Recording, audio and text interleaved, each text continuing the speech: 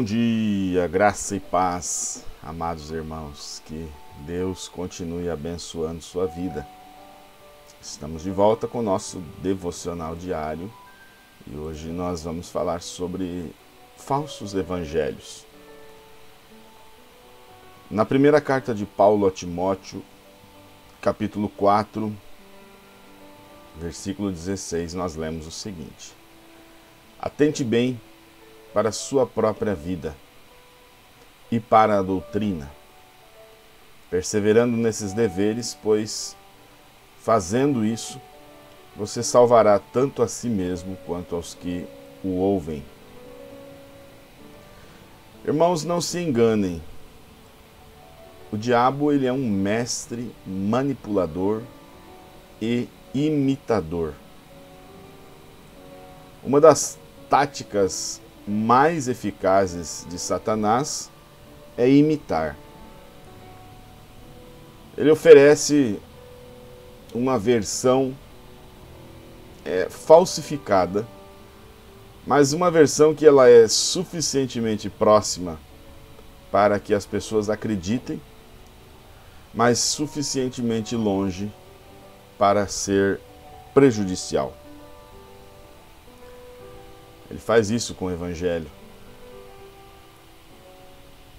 Muito do que nós ouvimos hoje no mundo moderno, pós-moderno, como sendo o Evangelho, na verdade, é um falso Evangelho. É por isso que Paulo, ainda escrevendo a Timóteo,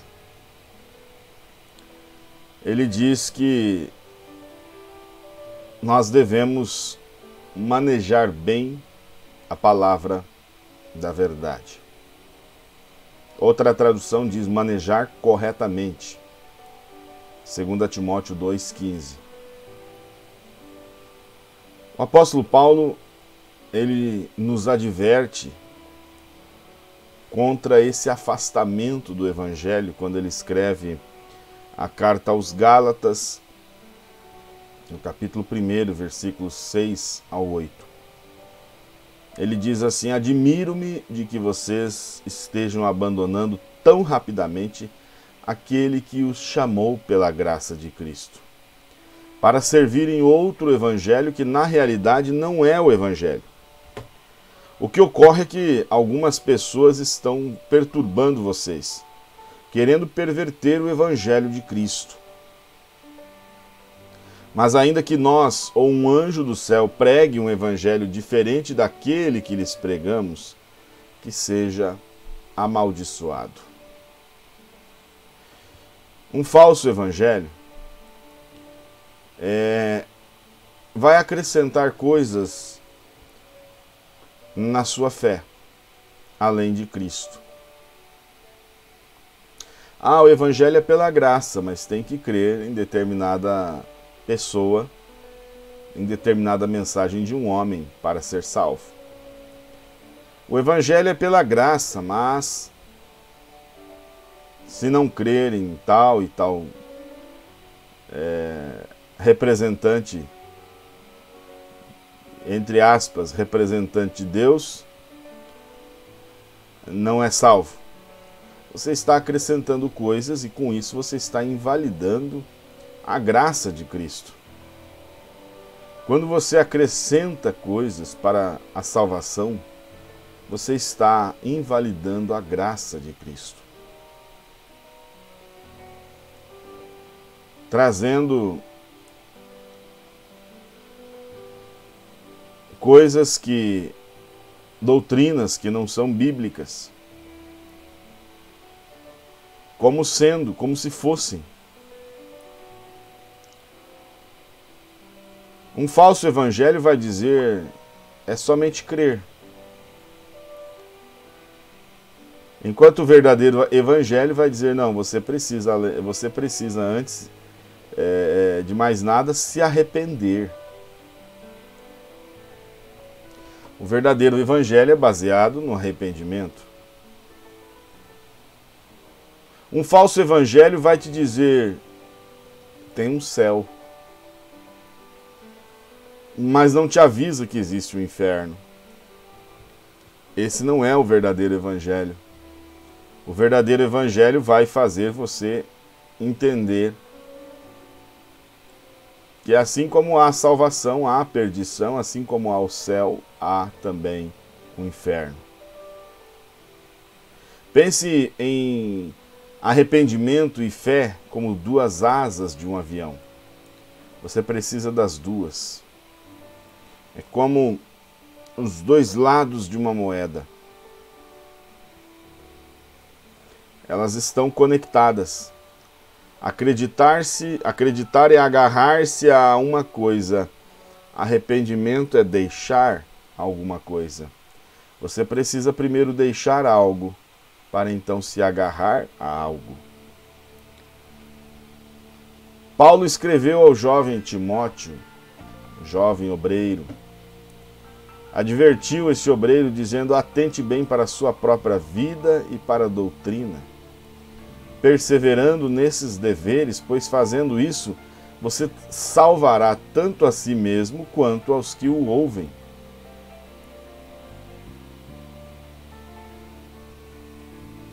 Esse entendimento correto acerca das Escrituras faz toda a diferença no que tange a salvação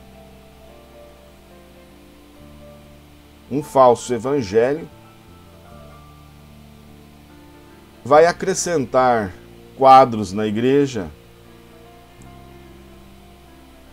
pirâmides da antiga adoração pagã no Egito. Vai inventar dizer que Enoque construiu as pirâmides, que loucura, não é? E um falso evangelho vai dizer que Eva teve relações com a serpente, por isso daí nasceu Caim, quando o verdadeiro evangelho diz que Caim é filho de Adão. Gênesis 4:1. Um falso evangelho vai querer trazer um Elias, um profeta judeu, para os gentios, quando o verdadeiro evangelho, Jesus disse que o Elias que havia de vir é João Batista, Mateus capítulo 11. Um falso evangelho vai ter a audácia de colocar sobre um homem o título de sétimo anjo de Apocalipse, capítulo 10, versículo 7. Quando, na verdade, esses sete anjos, segundo o novo, segundo o, o verdadeiro evangelho, esse sétimo anjo faz parte de um grupo de sete anjos celestiais. Portanto, afirmar que um homem teria esse título essa, essa responsabilidade é, é um erro hermenêutico seríssimo. Um falso evangelho vai dizer que o pastor é o marido espiritual da igreja, quando o verdadeiro evangelho diz que Cristo é o marido da igreja. Um falso evangelho vai criar etapas na segunda vinda que o verdadeiro evangelho não fala. O falso evangelho vai dividir a segunda vinda em duas etapas, criando assim um grupo de uma salvação especial, como se fosse uma elite, quando na verdade salvação é salvação. E a Bíblia não menciona. O verdadeiro evangelho não faz essa distinção. Mas é isso. Nos últimos dias sobreviriam tempos trabalhosos. Nos últimos dias levantariam falsos cristos e falsos profetas. Jesus nos alertou e disse que eles fariam tão grandes sinais que, se fosse possível, enganaria até os escolhidos. Pedro nos alertou também em sua epístola a respeito dos falsos mestres Paulo nos alertou, os apóstolos nos alertaram. A Bíblia está repleta de avisos sobre o falso evangelho. Para que ter o falso se podemos ter o verdadeiro? Agarre-se à Bíblia. Fique com a palavra. Permaneça com a palavra de Deus. E você vai ver a diferença. Você não será enganado pelos falsos evangelhos que surgem a cada dia e pelos antigos falsos evangelhos que já estão aí há muito tempo e ainda enganando as pessoas. Nós vamos orar e pedir a Deus pela recuperação de Valdir Albertini, sofreu um acidente, uma lesão grave em sua perna, que Deus possa poupar a sua perna e conduzir todos os procedimentos médicos é, que não tenha nenhuma complicação. Né? Também Maria Vitória Ferreira dos Santos, João Fernando dos Santos, Rosane Cristina de Moraes, Luísa, Flávia, Rubens, Paulo, João e Flaira. Nós vamos orar, pedir a Deus também pela irmã Neuci. Hoje a irmã Neuci está internando, agora pela manhã, é, para o procedimento cirúrgico que acontecerá hoje. E nós cremos no poder de Deus. Eu quero pedir a você que pode orar e jejuar hoje a favor da nossa irmã, que assim o faça, que tudo ocorra bem nessa cirurgia e não haja nenhuma complicação e ela possa ser liberta desse problema, né, desses nódulos que tem é, incomodado tanto. Deus pode livrá-la desse mal. Vamos falar com Deus. Querido Senhor, Aqui chegamos pela fé, agradecidos a Ti por mais uma oportunidade de estarmos na Tua presença. Agora, Pai, nós intercedemos por cada irmão, por cada irmã que está aqui nessa lista de oração. Lembramos também da nossa irmã Sueli, lembramos da irmã Adelina Moretti Dorta, lembramos, Senhor, também da irmã Alicira ali em Jacutinga, seu, sua saúde.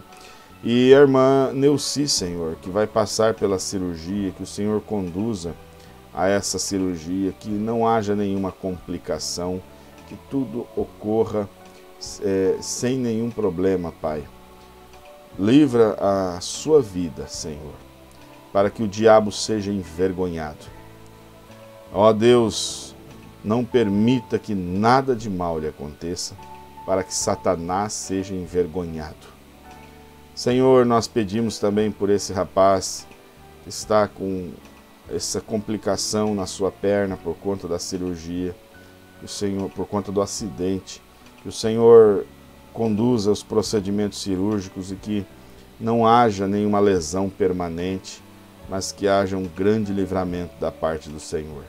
Nós pedimos pelo nosso dia que o Senhor esteja sempre nos conduzindo em tudo Pedimos e agradecemos em nome de Jesus Cristo. Amém. Graças a Deus. Hoje o programa está sendo gravado, então eu envio a nossa saudação a todos que estão aí acompanhando e convidando você para estar é, conosco amanhã, novamente às 7 horas da manhã, nesse mesmo canal, para mais um devocional diário. Um excelente dia para você em nome de Jesus Cristo.